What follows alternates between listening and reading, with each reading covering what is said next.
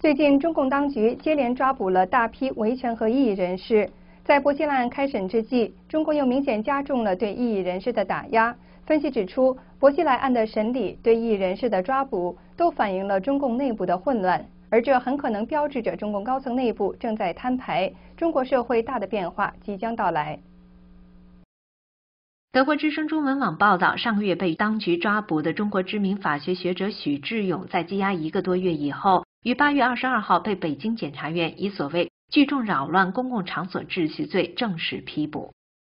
同一天，备受关注的薄熙来案在济南开始审理，薄熙来当庭翻供，对所有指控进行否认。在这场戏剧性庭审中，就中共高层如何处置薄熙来，左右派思潮公开展示了巨大分歧。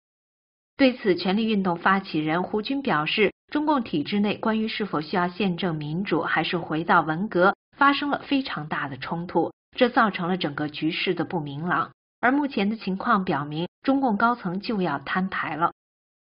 中国的变局将很快展现出来，他们做的事情就非常纠结了，非常混杂，他们都不知道他们应该去做什么。同样是八月二十二号，为失学女儿进行维权的安徽蚌埠意见人士张林，与许志勇相同罪名，也被检察院正式批捕。此外，广东知名维权人士郭飞雄在被广州警方以涉嫌聚众扰乱公共场所秩序刑事拘留后，他的律师隋木青两度前往看守所要求会见，均遭当局故意阻挠。维权网报道，黑龙江农垦维权代表刘杰在被以诽谤为名行政拘留十天之后，八月二十三号，警方违法变更罪名，以涉嫌寻衅滋事罪将刘杰刑事拘留。沈波那，肯定这。对左翼或者对左派的一个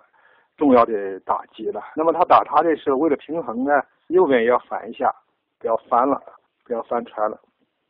BBC 中文网报道，曾经公开呼吁宪政的华东政法大学副教授张雪忠最近被学校党委停职。张雪忠认为校方这一决定完全非法，他质疑党委怎么可以直接对非党员教师做出停课决定。大学官员号称，张雪忠今年六月发表的对反宪政进行批评的文章违反了教师规定。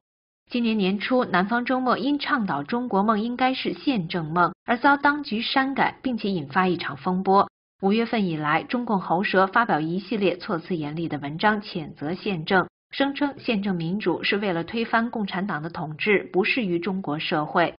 八月十九号，中共总书记习近平在全国宣传思想工作会议上宣称，宣传工作就是要巩固马克思主义的指导地位。在会上，习近平还特意提到了薄熙来的大后台前党魁江泽民提出的所谓三个代表。总体而言，他现在对于所有这些事情，无论是针对网络还是针对公民组团，全都是为自己的统治苟延残喘。全都是想制造一种回光返照的这样的迹象，无非还是记起他的谎言、恐怖、暴力的三板斧。北京社会活动家胡佳表示，中国要走向进步，一定会有一个阶段，就是老百姓和当局的直接对抗，期间会有大量不愿屈服的公民被抓入狱。胡佳强调，越是这个时候，越需要坚持，越需要有人用最直白的声音告知当局。公民有权捍卫自己的权利。